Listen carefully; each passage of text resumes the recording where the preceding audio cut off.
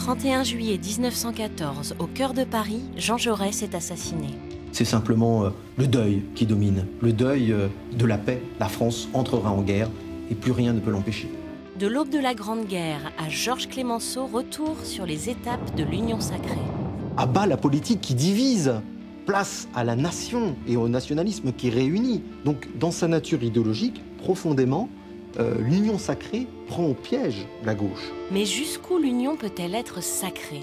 La proximité dans la souffrance, le partage du risque de la mort. Il n'y a pas de meilleur ciment entre les hommes.